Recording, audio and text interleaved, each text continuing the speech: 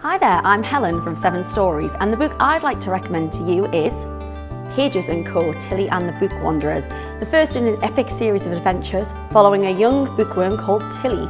And in this book, Tilly learns of a special ability she never knew she had, leading her to go on a fantastic literary journey full of twists and turns.